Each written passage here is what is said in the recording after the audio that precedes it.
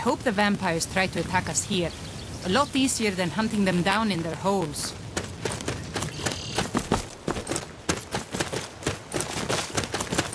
Never should have come here.